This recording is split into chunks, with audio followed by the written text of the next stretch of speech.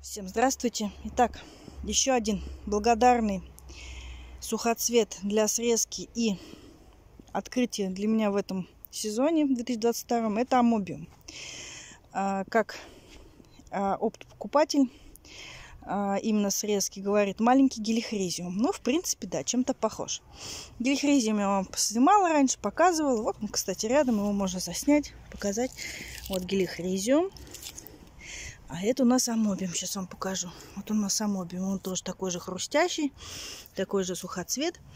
Ну, что мне в нем нравится? Он очень, скажем так, благодарный в плане срезки. Очень много листвы, который прикрывает наземную часть, которая не дает возможности расти травы. И, конечно же, активное цветение, что дает возможность любоваться а, покупателям моим, которые просто купили для красоты. И, конечно же, мне, как человеку, который постоянно срезает, а, постоянно срезать, выгонять новые ветви. То есть, скажем так, все это в постоянном движении, в постоянной активной фазе. То есть затишья нету. Единственное, что срезаем мы на фазе, ну, скажем так, только открытие цветка, так как вот он открывается, и у него серединочка, видите, сразу начинает терять эстетику. Это можно убрать, но все-таки это лишние заботы. Лучше срезать а, в закрытом виде.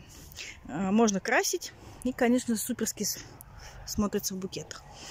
Всем огромное спасибо. Подписывайтесь на мой канал. Будет много интересного.